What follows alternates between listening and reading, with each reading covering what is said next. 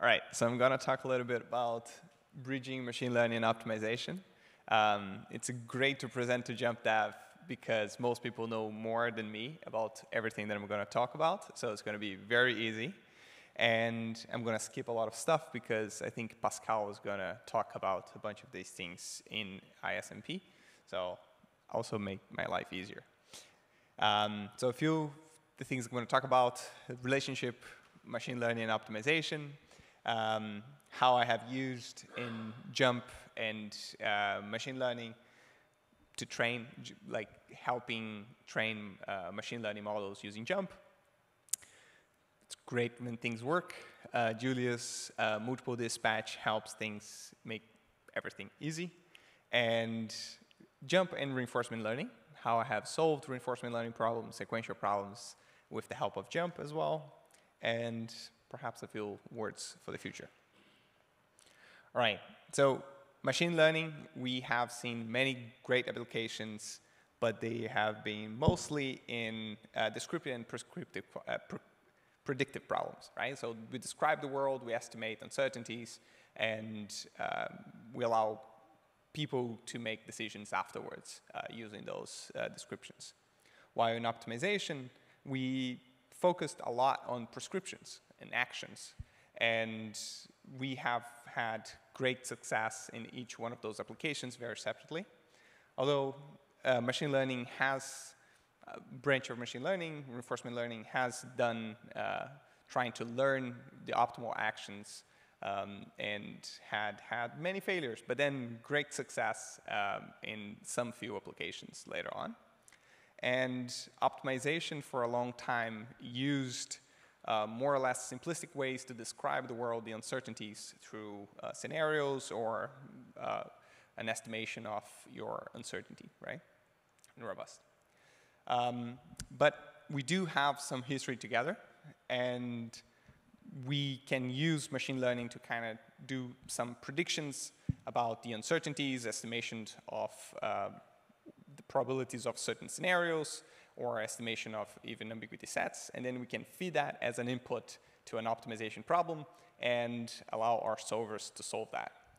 And at my previous company, we had uh, done that in a very more or less successful way.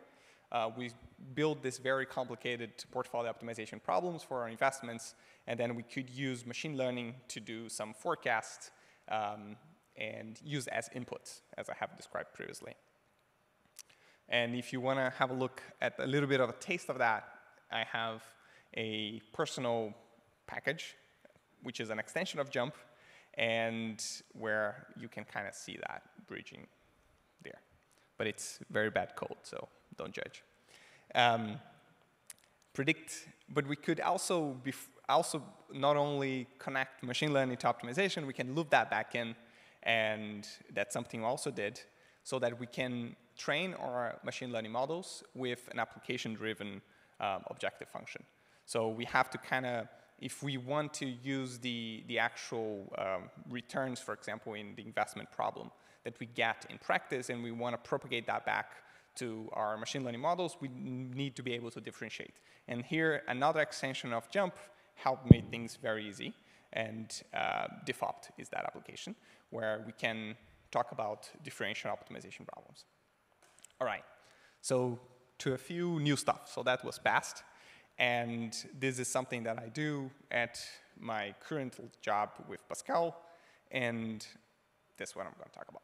All right, so the setting is you have parametric optimization problems, meaning you solve many instances of very similar problems where they change just a handful or a subset of the coefficients of that problem. And you have to kind of keep solving that again. But optimization problems can be very expensive. Can we learn um, a mapping from these changes in parameters to a function of the solutions? Or uh, even uh, this, the set of solutions itself that we can use that later on as a replacement for the optimization given that we're solving very similar problems. Can we learn these repetitive um, uh, patterns? So we call this, or some people call this a proxy or a surrogate and I'm going to try to kind of convince a little bit of the usability of that um, in some cases. But you can think about if you want to solve a problem very fast and, and you don't have time to solve the, the full optimization problem. And, but this is very similar to many of you, and we have done that in the past, where we learned a function of the solution, which is just the objective function. And this is old news. Uh, we have done that very, a lot of people have done that already in stochastic programming, where we try to learn the objective function of a dependent optimization problem, and we use that to build uh, very efficient solution techniques. But that requires a few um, constraints on that optimization problem and the relationship between those optimization problems uh, for tractability, right? So cutting planes, everybody here knows about it. You have this master problem or upper level or first stage problem, and you have to solve, you query other, another optimization problem, which describes different scenarios of future consequences you have. And as I said, you, for this to be able to actually make sense and, and to, for us to be able to solve this, our lower level or, or second stage problem needs to respect some, con uh, some conditions and the relationship between them have. And even in those cases where you respect those things, this is very expensive. So if you have a sequential decision problem and you want to solve that um, very fast to control a robot or whatever, that could be very uh, difficult. And especially if you plan given certain scenarios, but then the information that you can use to actually pick those scenarios changes. All right, so the question is, which I'm going to try to motivate later, can we replace that lower level problem, uh, that second stage problem, with a proxy? Can we use that and then query that thing, which is much faster than our optimization problem, to kind of get the information we need to approximate that future cost function?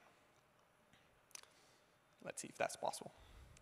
All right, so disregarding if we can actually approximate the solution or ob the objective function of the optimization problem, what are the constraints that we need to uh, require out of our proxy model, let it be a neural network or whatever, that we can use then to create cuts and, and solve our um, upper level problem. So we need convexity.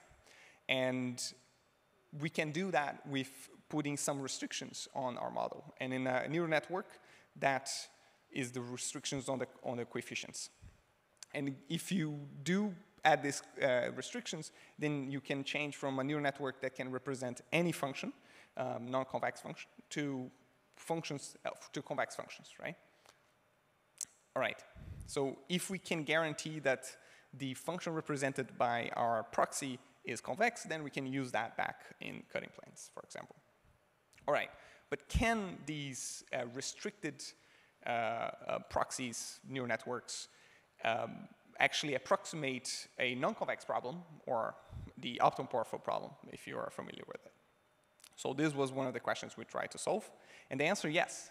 Um, so this non-convex problem, we were able to approximate with a convex uh, which you already know, people do that many times, but we could, it, we were able to do that very efficiently um, using uh, a little bit of modifications on the uh, black box solvers that we use to train neural networks. And we also, in the paper, which I'm going to put the link after, we were able to prove some generalization guarantees, and hopefully it's a new tool that you can use to solve um, complicated and larger optimization, dependent optimization problems. And here comes the fun part for people here, is that what I, I use the JuMP ecosystem, JuMP, POI, and Flux to actually train that neural network. So um, L2O is the package, also very bad code, but it's a package. And you can go there and kind of kind of use the functionalities there to um, do some um, supervised training of your neural network and impose constraints that make your neural network convex. All right, so what if I do not want to only use my neural network to get cuts from it and solve an optimization problem? What if I want to represent the entire neural network in my um, JuMP optimization problem, right? So it's great. So what I did was I'm going to just try it out and see where things break And where it did break was an activation function. So I only had to create an overload of that for um, JuMP, uh, JuMP um, types, and things just worked. So I was able to write my optimization problem, make things very easy, and then I could represent the entire um, convex neural network inside the optimization problem. But what if my neural network is not convex? All right, so you change a little bit, and you do another uh, dispatch, and then that works as well. So this was the amount of code that I needed to represent my entire neural network inside, and things just worked. And that's the beauty of multiple dispatch. All right, so this is the link to the paper. Um, I can give to people later, but this is the QR code. And it was a collaboration between the place that I work now at Georgia Tech and PSR and PUC-Rio. All right, so the thing that I'm most excited now about is um, what we are currently doing and how to use proxies to solve multi-stage stochastic programming. So normally what people did eh, do is that they approximate the future cost function as we just talked about, and they, they try to approximate that and, and solve this complicated uh, optimization problem. But we came up with a new approach. What if we can use the um, ML model or proxy to directly predict or give a target to a few of the optimization variables, and in this case are the state variables. And perfect. So what we can do, and you can see that we remove the future cost, the, the part, the infinite part of our problem, the expected value, and now we can give that to the solver so that it only chooses the necessary variables for that stage. So with the linkage between the stages in a multi-stage stochastic programming now entirely handled by our proxy that represents a policy. All right, so you can do that, and then the, the way that we did that, you can build this, with this problem in this way, and then you can loop back in and get information from that to train your optimization problem. We compared that with SDDP, which is another way to solve multi-stage stochastic programming, and great enough, we got great results.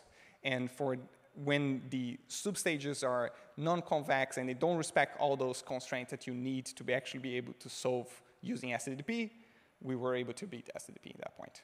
So what about control problems as well? So I made a stochastic version of the Goddard rocket problem that you have on the JuMP um, tutorials for nonlinear. So this I took a little bit, as we say in Portuguese, uh, um, poetic license so that this does not represent the most stochastic programming, but I just added these variables just so that we could see everything together.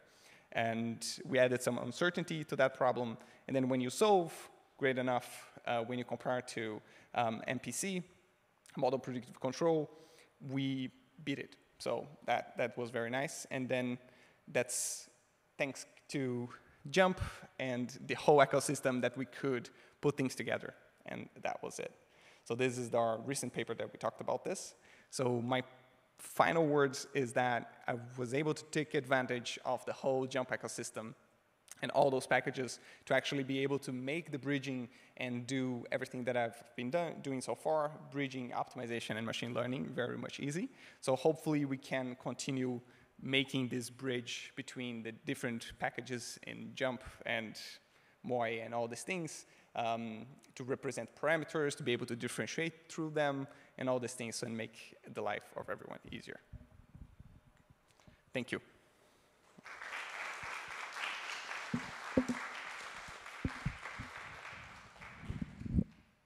Okay, any question?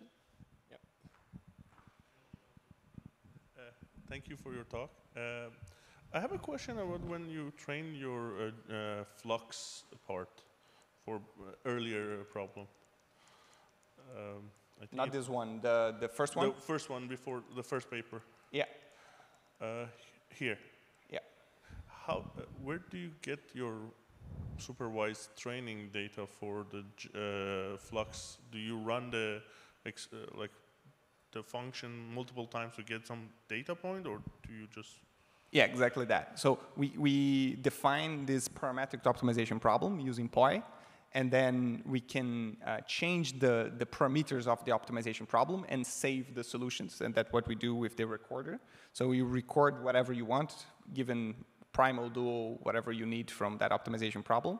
And then you can save that data and use in your, um, So, so Yep. you like run it for like 100 times and then train the model and use that model from now on. Exactly. So, so this, this uh, for this paper, we used only supervised learning. So that's what we did. We solved it 50,000 times and for different types of scenarios. And then we try to learn from that. Perfect. Thank you very much. Yeah, thank you. Any other question?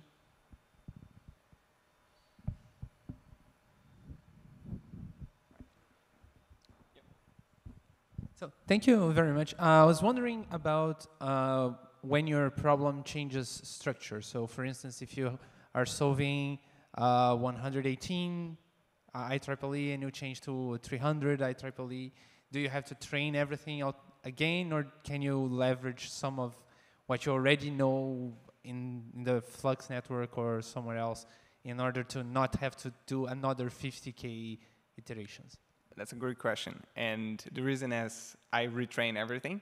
Um, you do have, if your problem still has the same dimensions, then you can kind of try to reuse that information. And I have had good uh, results on that. For example, I could uh, warm start to the training for the AC OPF using whatever I did for this uh, uh, SOC uh, OPF. So you can go and, and forget about a little bit of changes, but big changes like number of nodes, whatever, uh, I'm not quite sure how to do that, but perhaps there is a way. But I have, I think in, in my, opi- in my uh, the things that I've done, I had to do, retrain everything for each grid.